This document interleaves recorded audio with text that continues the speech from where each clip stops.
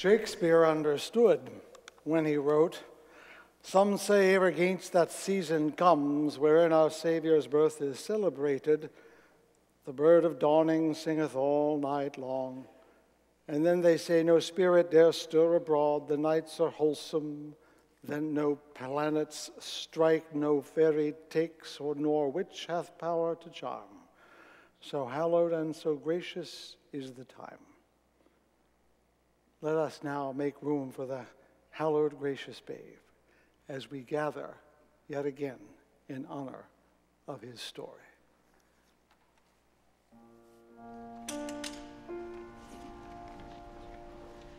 Caroling, caroling,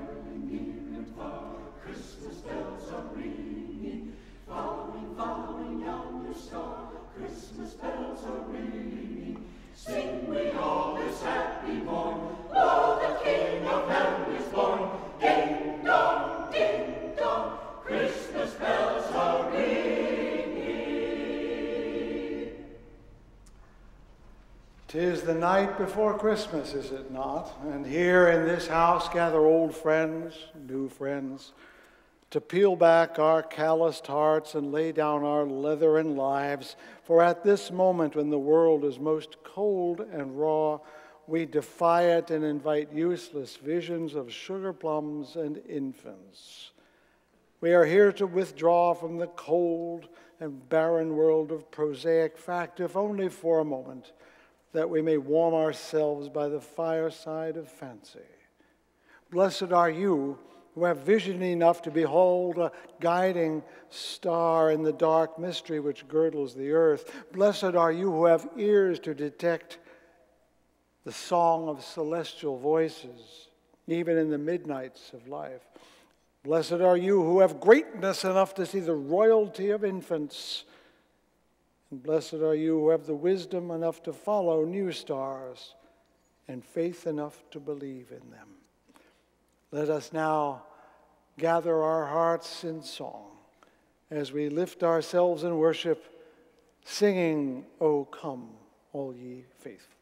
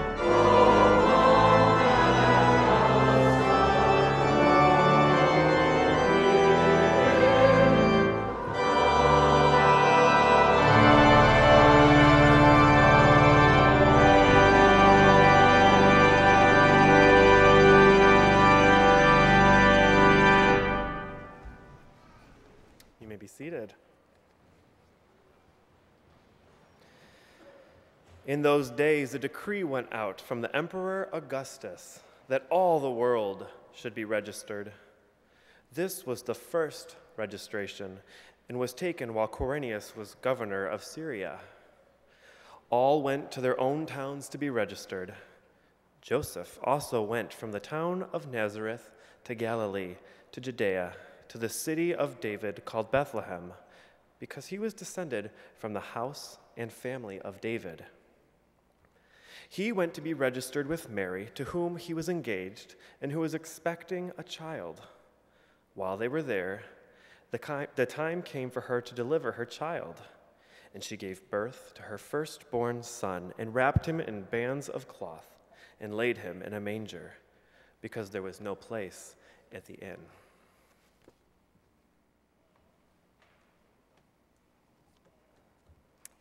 Feast Days, Christmas by Annie Dillard. Let me mention one or two things about Christmas. Of course, you've all heard that the animals talk at midnight. A particular elk, for instance, kneeling at night to drink, leaning tall to pull leaves with his soft lips, says Alleluia. That the soil and freshwater lakes also rejoice, as do products such as sweaters, nor are plastics excluded from grace, is less well known. Further, the reason for some silly looking fishes, for the bizarre mating of certain adult insects, or the sprouting, say, in a snow tire of a Rocky Mountain grass, is that the universal loves the particular, that freedom loves to live and live fleshed full, intricate and in detail. God empties himself into the earth like a cloud. God takes the substance, contours of a man, and keeps them dying, rising, walking, and still walking wherever there is motion. On what bright wind did God walk down? Swaying under the snow, reeling minutely, revels the star moss pleased.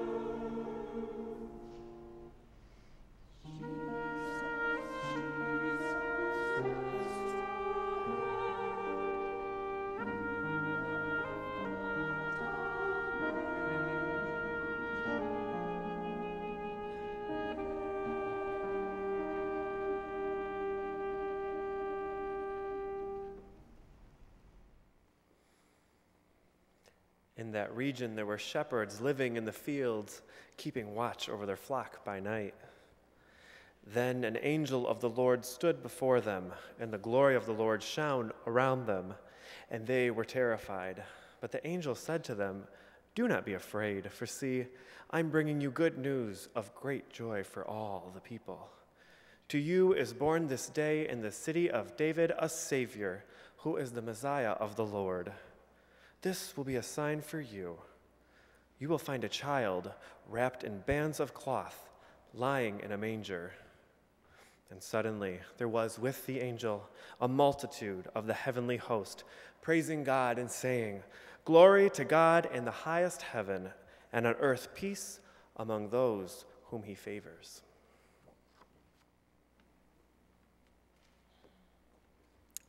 A Penitent Considers Another Coming of Mary by Gwendolyn Brooks. If Mary came, would Mary forgive as mothers may? A sad and second Savior furnish us today?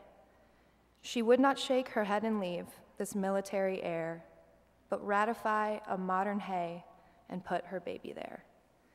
Mary would not punish men if Mary came again.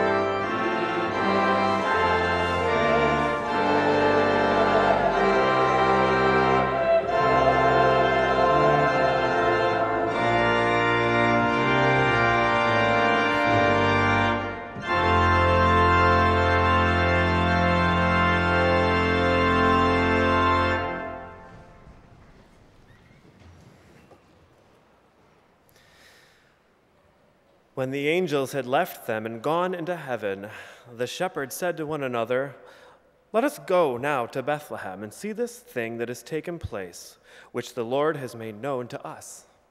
So they went with haste and found Mary and Joseph and the child lying in the manger. When they saw this, they made known what they had been told about the child, and all who heard it were amazed at what the shepherds had told them. But Mary treasured all these words and pondered them in her heart. The shepherds returned, glorifying and praising God for all they had heard and seen as it had been told to them.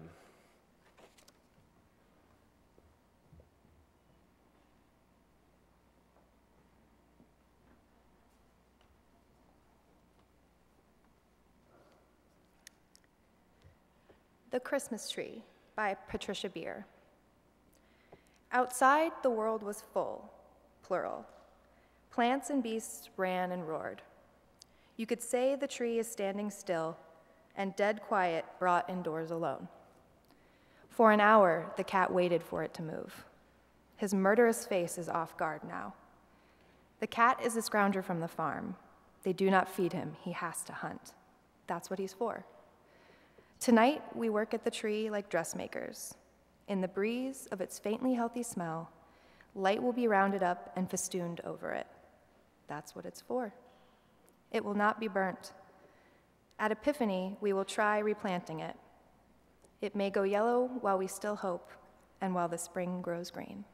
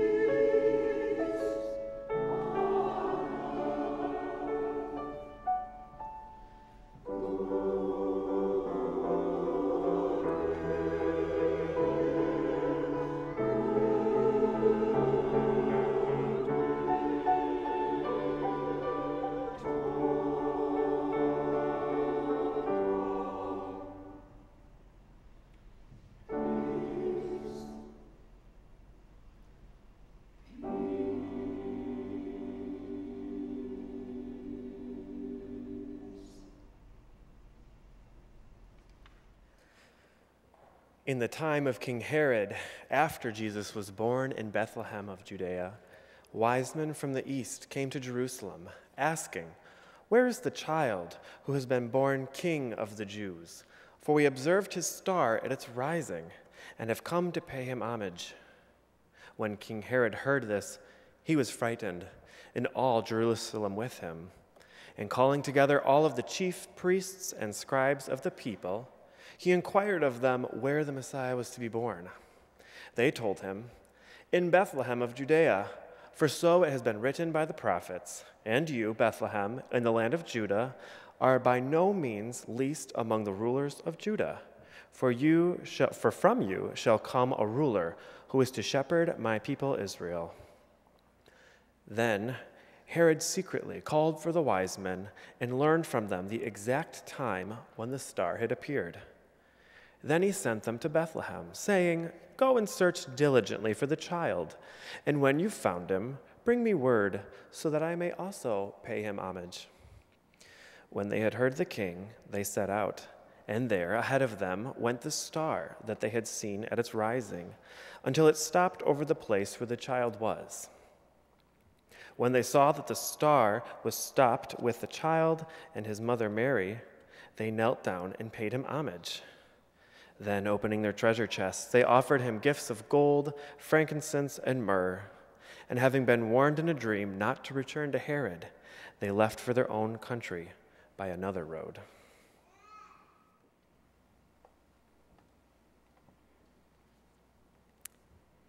BCAD by U.A. Fanthorpe. This was the moment when before turned into after and the future's uninvented timekeepers presented arms. This was the moment when nothing happened, only dull peace sprawled boringly over the earth. This was the moment when even energetic Romans could find nothing better to do than counting heads in remote provinces. And this was the moment when a few farm workers and three members of an obscure Persian sect walked haphazardly by starlight into the kingdom of heaven.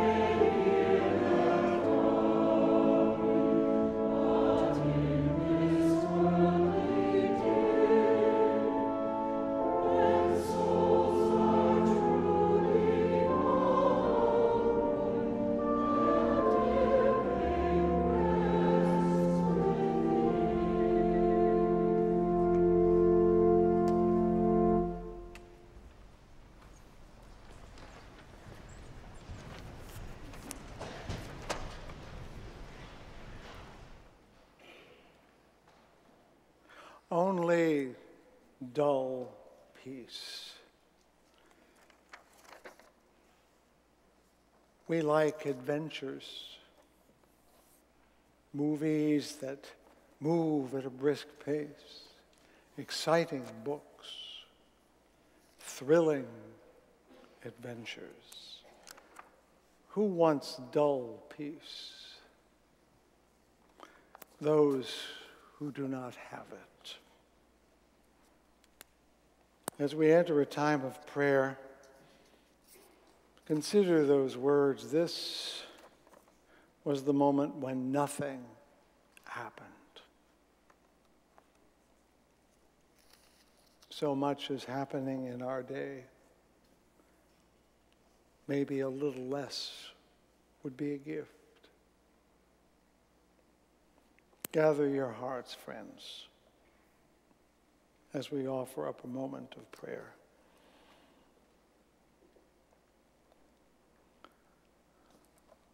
We would ask for a little less rather than a little more, a little less excitement, a little less adventure, a little less uncertainty, a little less worry, a little less fear, a little less anger. How hard would it be not to have to wonder how the day will end? To sit beneath that fabled vine and fig tree at peace, dull, boring peace, to be unafraid. Is that too much to ask? To have a world where we needn't worry, wonder, fear what will come next. Yes, give us nothing for Christmas, Holy One. A time of nothing, of dull peace, of boredom, when we can think of nothing better to do than count heads in remote provinces. Remind us, remind us that peace, true peace, is so desperately needed in our hearts, in our homes, in our towns, in our nation, and in the world and grant that we might have from time to time a moment when we know it, so that when it vanishes again, as it surely will, we will hasten to find it again. Yes, Holy One, give us nothing, nothing but dull peace, a little less of everything, and fulfill the promise all of us have always had. Upon this, for this, and with all the other prayers we bring in our hearts this evening, we pray and say, Amen.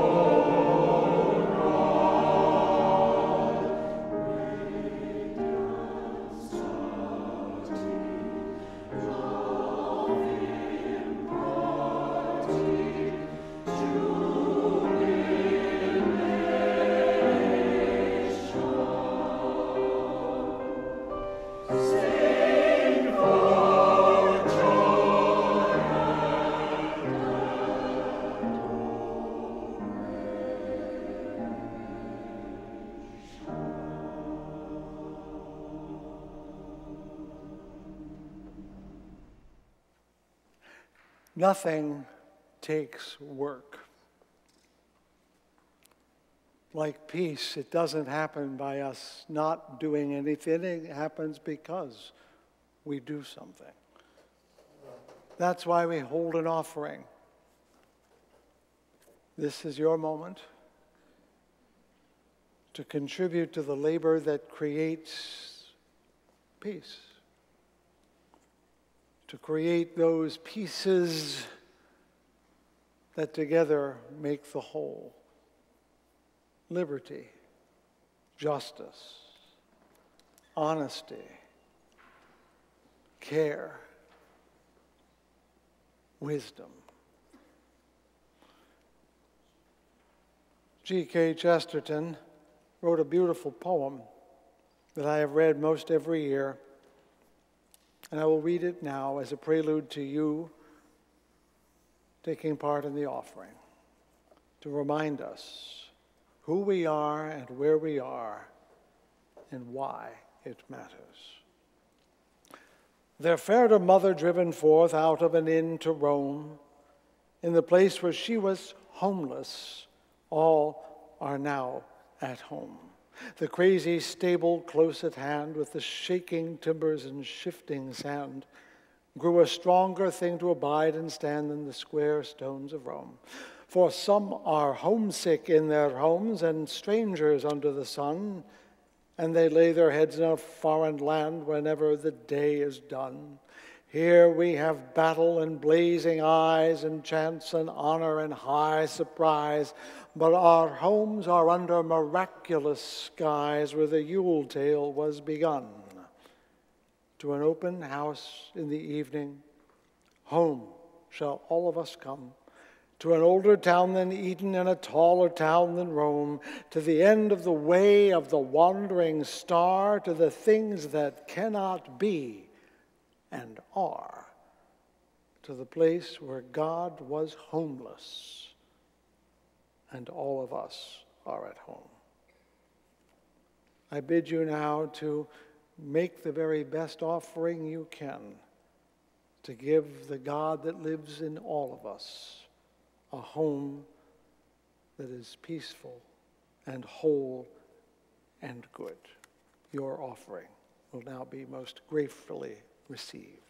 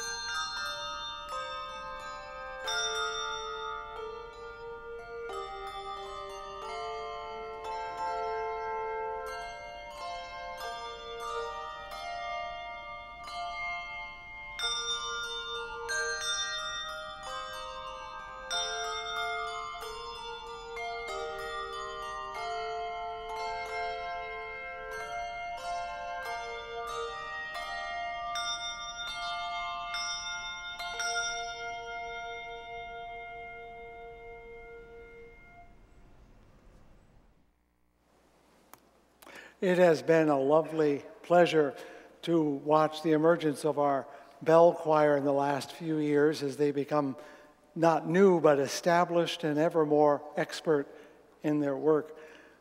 Choir, they're going to catch up to you if you're not careful. You're going to have to become better and better. Uh, it's been a fairly quiet an almost solemn evening, and that's part of what we expect out of Christmas Eve a certain solemnity. And yet, at the same time, it is supposed to be full of joy. And anyone who's ever been in a place where a newborn is knows that solemnity is in very short supply, and that families are messy things, even holy ones. So, I'm going to talk a little bit about my family, actually about me, and lighten the mood just a little bit. I'll get serious toward the end, but let's start with a little less earnestness. I want to tell you that I know it all begins very innocently, and you all know this story if you're more than 25 or 30. Say you're newly married or in your first committed relationship, and it's Christmas time, and you live in a tiny apartment somewhere, and you can't afford a big tree, so you get a little one, and you put it on a tabletop. And then you have to go and decorate it, so you go to Walgreens or Walmart, and you buy a little string of lights, and you buy a box of ping pong sized ornaments, and you put the little hooks on them. You might buy a star. And as you're shopping, you see an ornament on it that says the year and you say, let's get it. It's our first Christmas. And you get one the next year too, and the year after that. And then you get a bigger apartment, or you get a house, so you get a bigger tree, which means you need more lights. And then you have kids, and they bring home the glitter covered star or the four sided snowflake, and they go on the tree too. Then all of a sudden you're 65 and the kids are grown, and you don't even buy a tree because there's only two of you, and trying to get it in the house and get it up and not fall down is just not worth it anymore. But you still have eight, count them, eight big plastic bins full of Christmas decorations, Christmas stuff. And you tell yourself the kids will want it when they have kids. We didn't. They won't. You have no choice but to admit it you're a Christmas hoarder. You know about hoarders, those people who turn their homes into giant storage compartments. Well, a Christmas hoarder is not that bad. But when it comes to Christmas stuff, let's just say if there were a program, I'd be standing there saying, My name is Fred, and I'm a Christmas hoarder. and I'm guessing there would be a few people in this room at that same meeting. Am I right? Many years ago in a magazine, I think it was the New Yorker. I saw one of those witty black and white cartoons, and it showed the three wise men going through the desert following the star. And the caption reads Mark my words, Melchior, this is going to get way out of hand. Christmas is about stuff. Stuff we decorate with, stuff we give, stuff we eat, stuff we prepare, stuff. It's a lot of stuff. And yes, I know, because I read it to my church last week, the Grinch stole all the stuff and there was still merriment. But those are Whos, and we are people, and we need stuff. We need it not because we need the decorating. We need it not just for the having, we need it for the remembering. This is why we are true hoarders, because the hoarder will say, if I get rid of that receipt or that newspaper, I will lose the memory that goes with that. And Christmas stuff is about memories all over the place. We keep those year ornaments from our early marriage because when we get them out, we suddenly find ourselves transported back to our newlywed days. Because it's hard to think of them, but when we see it, we can go right there. We still have the Santa drawing our 34 year old did when he was four. It's a really very good mashup of Edvard Munch, Alberto Giacometti, and Harold and the Purple Crayon. We are very proud of it. It's a fine artwork, along with the crocheted and knitting things that greats and grands make while you're not watching. And when we unpack them, the memories come back. And suddenly the past is close, and all of the things that meant something still do. And I'm betting a lot of you are like that as well. Do you remember the poem that uh, started, the one from Annie Dillard? I love the lines that said, The soil and freshwater lakes also rejoice, as do products such as sweaters, nor are plastics excluded from grace. The Christmas hoarder understands the truth of that. Sometimes the homeliest or tackiest thing is the most precious of all. We have a little plastic Snoopy uh, ornament that showed up, I think, in one tough year, and it holds close to us our survival.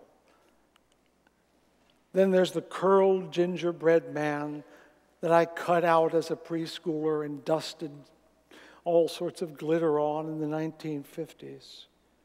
No one would call them beautiful. No one would care other than me, but they are utterly priceless and have their grace as well. And now I'm going to tell you why. W.H. Auden, in his epic Christmas poem for the time being, written while he was living here in Michigan, by the way, includes these lines that I think capture why we keep the stuff.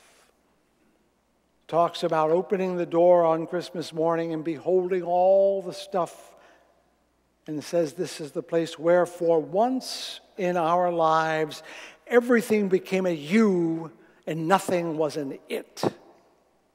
I'm going to repeat that. Where for once in our lives, everything became a you and nothing was an it. It was all alive, wasn't it?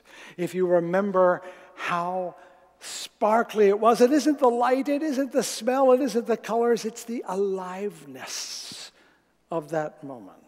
And that's what the stuff does. It reminds us of that feeling last year, 10 years, 30, 60 years ago. When people ask why we can't have Christmas all year, they're not asking why we cannot have doorbusters every week or eat roast beast every evening. They don't mean that they want to go to more parties or eat more cookies. I think I've already had more than my fill. They don't want more tinsel and they don't want more ornaments. They say, they mean they want the feeling that everything is a you and nothing is an it. And this stuff somehow helps to do that. But even with the stuff, it can be hard. When everything is a you and nothing is an it, we have a problem because that means everything matters. Not just the present under the tree, but the paper it's wrapped in. It matters too, nor are plastics excluded from grace, remember. Not just the ornaments, but the infernal needles that get into everything and turn up at Easter. Not just the feasting, but having to clean it all up with the grease and the garbage and wondering why you ate so much and wondering how you're going to eat the rest. It all matters. When everything is a you, everything matters. The baby's being born tonight, homeless but every night as well. Their mothers wondering about their next meal or their next fix. She matters. Muslims, Jews, atheists, and others who don't care about Christmas and don't believe in it at all, they matter. Mexicans and Guatemalans sitting on our border, they matter. Syrians and Somalis trying to get out from under death and destruction, they matter, even if we don't see them. Men in prison for horrid crimes that they deserve, and those who deserve to be there that aren't, they matter too. Irate neighbors, pompous bosses, indolent workers, drunkards, socialists, racists, line five, PFAS, mosquitoes, millipedes, spiders, and their webs, all of it, all of it matters if you want Christmas to be every day. When everything is a you, there's no looking out for number one because there is no number one, there's just one us. When everything is a you, there's no winning because you can't abide one of the others you know losing. Heck, if you think about it long enough, Christmas is downright un American. But we are more than Americans. Our stuff reminds us the way a church tries to remind us that we can be more than our stuff, more than our nationality, more than our race or our religion or our gender. We are more than that. And sometimes it actually happens. This year marks the centennial of the end of World War I, and some of you may know the story of back when it started on that first Christmas Eve after everyone had dug into their trenches. Some Germans on one side of no man's land shouted, Merry Christmas, and sang carols to the English. The English replied, Fröhliche Weihnacht, and sang back. And then one of them poked his head up above the trench, and no one shot. And no one came yelling, and then another person. And then in the middle of the night on Christmas Eve, hundreds of men all along the front, not every place, but in many places, came out and they visited their enemy face to face and cut off buttons and exchanged cigarettes, had a drink shook each other's hand. They dared to see a you where the generals said there was an it. One of them wrote, it, wrote this I wouldn't have missed that unique and weird Christmas day for anything. I spotted a German officer, a sort of lieutenant, I should think, and being a bit of a collector, I intimated to him that I had taken a fancy to his buttons. I brought out my wire clippers and, with a few deft snips, removed a couple of his buttons and put them in my pocket. I then gave him two of mine in exchange. The last I saw was one of my machine gunners who was a bit of an amateur hairdresser in civil life, cutting the unnaturally long hair of a docile German who was patiently kneeling on the ground whilst the automatic clippers kept up, crept up the back of his neck. That is what happens when everything is a you. It only lasted a day. It didn't even happen the next year, but it happened. It happened in defiance of generals and presidents' treaties. It happened because they gave themselves permission to see a you where an it was. The war lasted four more years. But even a single match can give enough light to keep going, keep going in a dark room. It reveals where we are in that moment that it's alive. And we get to keep that and keep going. Do you see what's in the light of the match that's being lit right now? Is there dull peace? Is there nothing going on? Is there something worth crawling through the dark until next Christmas? I don't know what you see. But when I light up the match in my heart, I see you. All of you. And none of you are an it. May the words of my mouth and the meditations of my heart be found true in thy sight, thou who art my rock and my redeemer. We come to that most precious part of our ritual when we share Silent Night. This year is the 200th anniversary of its composition and first performance. The choir will now come up onto the dais, and together they will begin to sing, and your turn will come. Once we start singing, you'll hear no more words. And you are free to stay here until the match light goes out, and you can return to your life but take the flame with you. We'll need it for the year to come.